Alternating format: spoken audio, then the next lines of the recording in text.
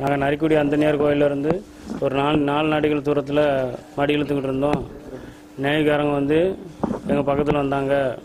Swollen மடி வாங்க சொன்னாங்க. நாங்கள் மடி வாங்குறதுக்குள்ள அவங்க வந்து வேகமாக வாங்க வேகமாக வாங்கன்னு சொல்லி எங்களை வந்து ஆட்கள்லாம் போட்டில் ஏறி அடித்தாங்க அதுக்கு முன்னாடியே எங்களுக்கு பூரா நாங்கள் ஸ்லோவனில் நீ மடி வேகமாக வாங்க முடியும்னு சொல்லி ஃபயர் பண்ணாங்க. ஃபயர் பண்ணதில் எங்களுக்கு கையில் காயம் இன்னொரு ஆளுக்கு தோலில் காயம்.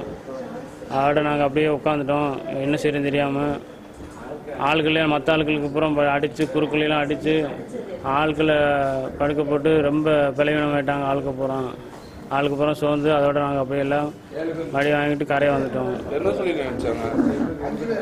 எங்களை வந்து பிடிச்சி ஏன் இதில் மழை இழுக்கிற அப்படின்னு சொல்லி பேச சொன்னாங்க. நாங்கள் இல்லை தான் சார் இதனால் சார் நம்ம இல்லை அதனால தான் சார் இழுக்கும் அப்படின்னு சொல்லி நாங்கள் சொன்னோம்.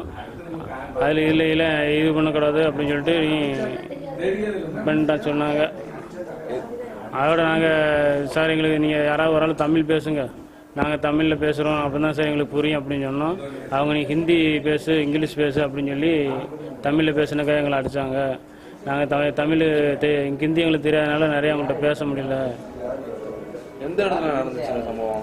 நரிக்குடியிலேருந்து நரிக்குடி அந்த நேரத்துலேருந்து ஒரு நாலு நாட்டிகள் பக்கத்தில் ராமேஸ்வரத்தில்? என் பேர் பிச்சை ஆரோக்கியதாஸ்.